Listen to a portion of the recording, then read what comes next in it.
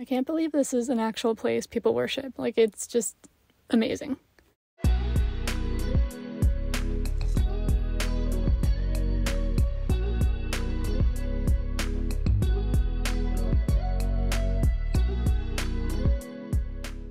We spent Thanksgiving in Savannah, Georgia, and kick-started our trip by shopping on Broughton Street. Today we'll highlight some of the best historical locations in Savannah. Nearly all of downtown Savannah, Georgia is historic, but for this video we're going to give you a glimpse into the historic walking tour we did of Savannah. We'll start with the most beautiful building in Savannah, the Cathedral Basilica of St. John the Baptist.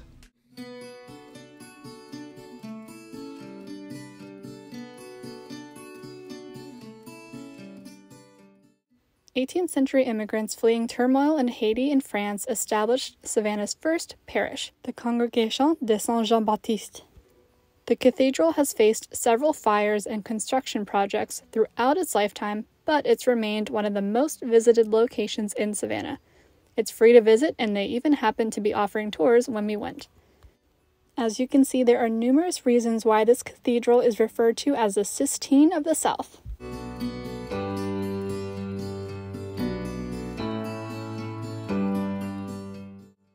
It has 81 incredible stained glass windows. One of the most notable is the north transept window, which shows the ascension of Christ into heaven. It also features an amazing pipe organ, Stations of the Cross, and 34 outstanding murals.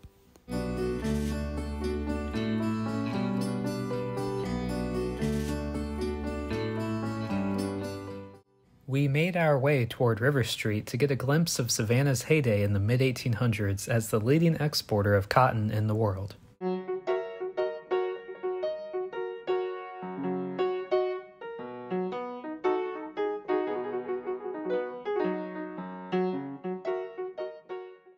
The waterfront buildings on River Street were cotton warehouses. The old cotton exchange was the center of cotton activity, it was completed in 1887, and although it's still wonderful, it has seen better days. It's no longer open to the public, mainly because it's sagging. Nevertheless, it remains one of the most photographed places in Savannah and is one of the few structures in the world to be built over a street.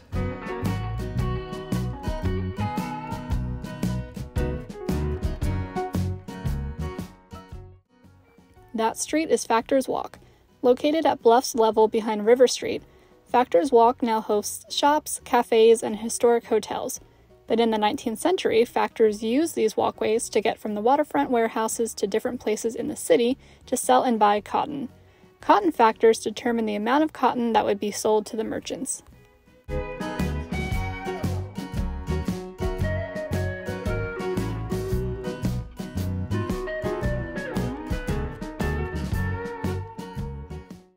Below Factors Walk lies mysterious vaults that you could easily miss if you didn't know where to look.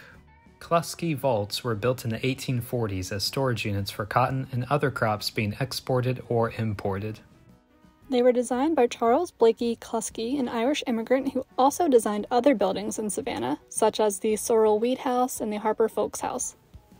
We toured the Sorrel Weed House during our first trip to Savannah, at 16,000 square feet, it is also one of the largest houses in the city. The house was built for Francis Sorrel, a wealthy shipping merchant, and may be more familiar to you than you think. The opening scene of Forrest Gump was filmed there, like when the feathers kind of flying through the city. It goes across Madison Square, which is across from Sorrelweed. And then I think it splices to Chippewa Square, which is where the famous Forrest Gump bench was, where the bus stop was for the film. And it's super haunted.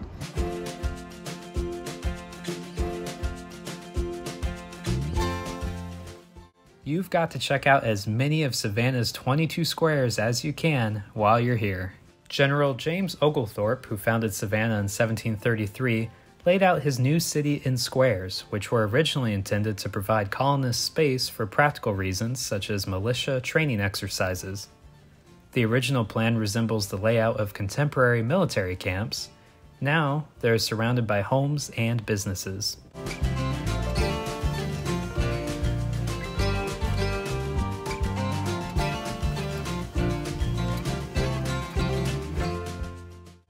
Among our favorites are Madison Square, named after James Madison, Chippewa Square, Lafayette Square, Reynolds Square, and Oglethorpe Square.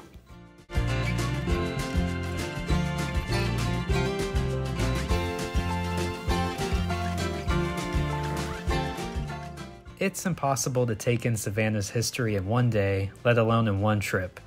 This barely covers all the historic places Savannah has to offer, but we hope it gives you a little taste of this tremendous city. Thanks for watching.